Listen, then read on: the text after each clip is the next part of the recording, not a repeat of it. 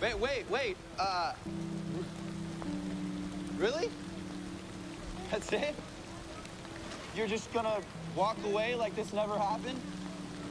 Well, that's what professionals do, right? Sarah, I just had the best day of my life.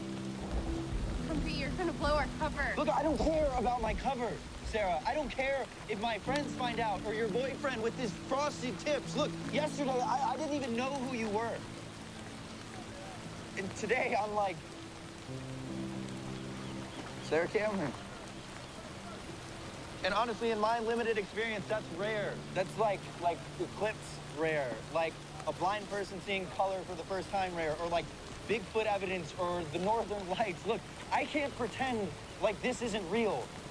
Like, this didn't happen. I'm sorry. I Shut up.